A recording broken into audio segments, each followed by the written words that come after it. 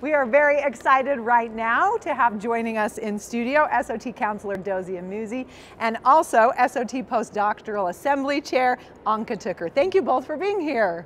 Thank you. We're excited to talk to you guys. Now, I want to know within SOT, what kinds of groups do you guys have that help foster inclusion and strengthen community? I think SOT has lots of different groups that are geared towards all kinds of members, like the undergrad groups. Uh, grad students, postdoctoral groups, but then there's also all the special interest groups focusing on different regions all over the world.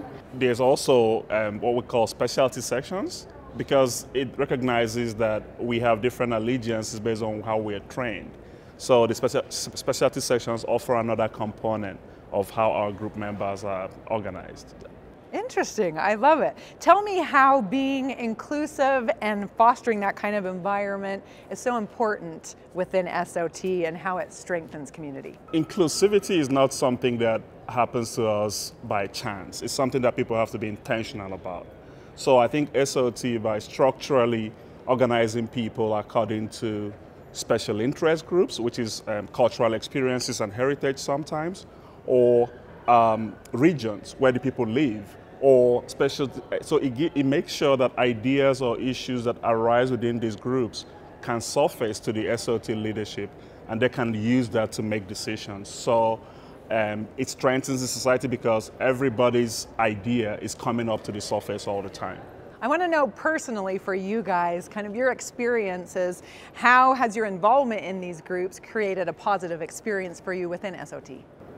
I think for me, it's I got to know how SOT works, like really the inner workings. If you're a member and you go to the meeting, you you you enjoy the meeting that's set up. But the moment you become involved in those leadership roles, whether that's a specialty section or the postdoctoral assembly, you really get to see how much effort is put into getting everything together and how all these special interest group and component groups connect with each other and communicate with council, with leadership to make things happen. For me, it's, it's allowed me to, within the component groups, whether they are specialty section or I belong to a group called Toxicologists of African Origin. There we, we zero in on issues that are more peculiar to the group. And then we take care of things we can take care of ourselves and then reach back to SOT leadership on the things that it can help us with to become productive members of the society. So if SOT members are listening and they want to find out more about how to get involved or find a group that may interest them, how do they go about doing that? Go to the website.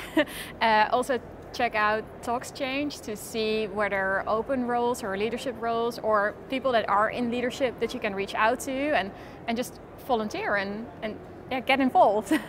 Right, volunteer would take on that and get involved because we participate, we become members of the community, and that's where most of the benefit comes from. I love that there are so many ways to get involved, and thank you guys both for sharing those ways with us so people can find out more. Thank you. Thank you.